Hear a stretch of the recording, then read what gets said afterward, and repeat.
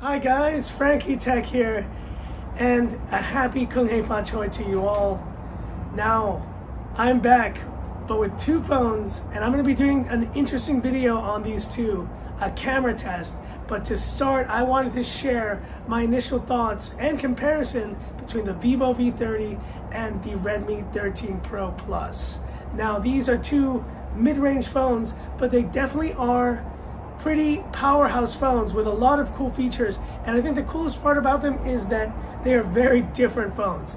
Now Vivo is going for a much slimmer look here at 7.44 millimeters, super slim, 186 grams, while the Redmi is quite a bit thicker, but it doesn't sacrifice in terms of camera with that 200 megapixel OIS camera.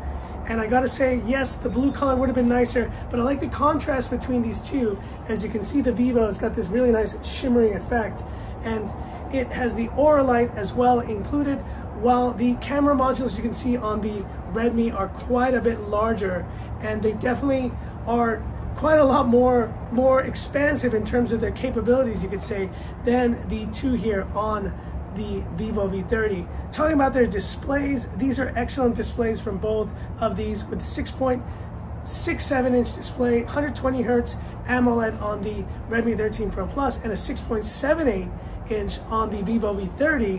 Now I'm going to set these to max brightness here so you can see that both are plenty bright and should do the job pretty well. And I do like though the borders on the Vivo V30. They are quite a bit smaller and just a bit more modern looking than this 13 Pro Plus. Talking about performance, we also see two mid-range CPUs here, but going different routes here, the 13 Pro Plus is using, using the Dimensity 7000 200 Ultra, while Vivo has opted for the Snapdragon route, going with the Snapdragon 7 Gen 3, and you can see the results. It's a little bit dark here, but let's see if I can show you guys. 841,000 versus 786,000. Both of these solid mid-range scores, nothing flagship level here, but I do think if you're talking about performance, I would give the edge here to the Vivo. And in terms of battery life, we have the same 5,000 milliamperes on both, but you have to think, you know, there's quite a bit of thickness here difference between these two, and you're getting that same battery performance from this Vivo than on this Redmi 13 Pro Plus. And, you know, I think FunTouch OS is the other area where I feel Vivo's ahead. I can't believe I'm saying this, but I actually think that FunTouch OS 14 is just a bit more enjoyable to use than MIUI in this current iteration. As you can see, the phone is on MIUI 14, and look, we have an update now. We will install that, and I will share my experience with that. But I will tell you guys, FunTouch OS has come a long way. It's just a lot more stock in the experience, and I do think it is just the more enjoyable software now. A lot of MIUI lovers out there, you guys are gonna tell me I'm nuts. How can I say FunTouch OS is better now than MIUI? But I personally just am enjoying it a bit more.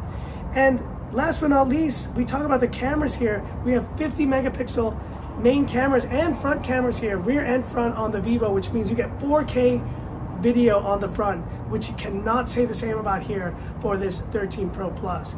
Now, that's always been the case with Xiaomi phones. Only recently with their flagship have they launched 4K on the front. But I just love the fact that this Vivo does include that capability and great selfies here on this Vivo. But then you have, of course, the Aura light, which is the other aspect of this, which really allows you to adjust, you know, the color of the light to suit better portrait shots while there's nothing to see here really for this Redmi 13 Pro Plus. But what you get with the Redmi, I think, is better zoom. The zoom so far in my initial testing has been really good. And that's why I'm gonna be doing, guys, a camera comparison between these two phones. I think it's gonna be interesting to see the findings because I think if you're looking more for portraits, this might be the better choice. But if you're looking for the, the bigger specs and the better zoom, the Redmi might be the better choice. But all in all, guys, if I look at these two, and my initial comparison, I think these are very different phones and it's nice to have options on the market, whether you want something a bit more flashy, a bit more sexy, you could say, and something that is ultimately a bit sleeker and offers more in the portrait category, this would probably be your choice. But if you're looking for that really budget value, amazing phone in, you know, and if you're in Xiaomi world and you appreciate the value, this 13 Pro Plus has it in spades. But hit me up in the comments, guys. What are your thoughts on the Vivo V30 and the 13 Pro Plus. And stay tuned for my full camera comparison. I'll be coming out with that very soon. But hit me up in the comments. I'd love to hear about it. And that's it for this video. If you liked it, give me that thumbs up. And if you love the content of Frankie Tech, subscribe to the channel, hit that bell icon for future updates.